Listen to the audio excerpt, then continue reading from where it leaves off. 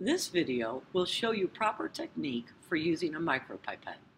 You should also read the technical guide on micropipettes for more detailed information. Micropipettes are used to accurately and precisely transfer very small volumes of liquid.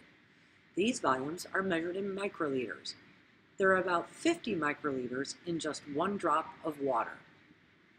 On your bench, you have two sizes to choose from. The white-bodied unit can measure from 100 to 1,000 microliters, and the blue micropipette can measure from 20 to 200 microliters.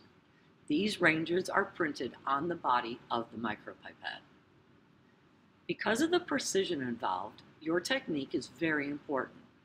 When using a micropipette, you will first set the volume you want to transfer by gently rotating the plunger at the top of the micropipette.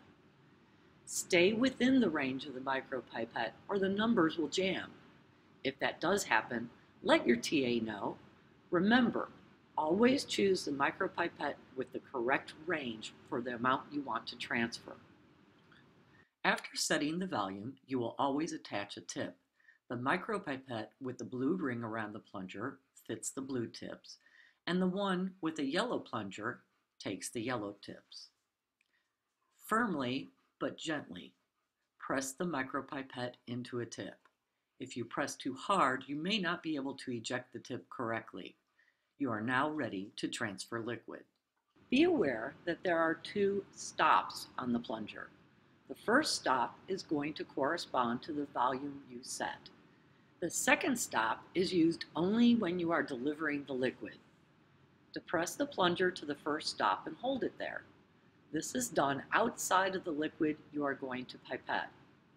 One common mistake is to insert the tip and then depress the plunger. This actually injects air into your solution, which can actually change the volume being pipetted.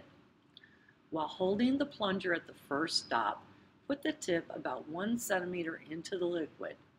Slowly and evenly bring the plunger back up.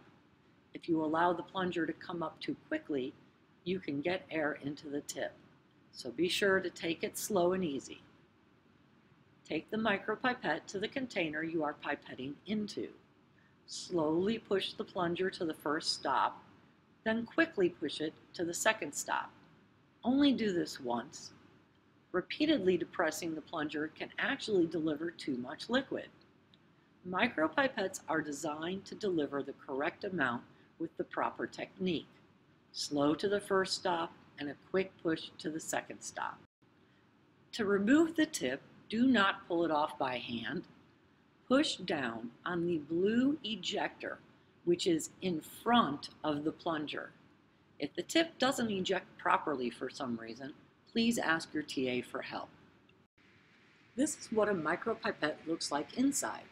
You should never attempt to take one apart as the springs and plunger can be permanently damaged if handled incorrectly.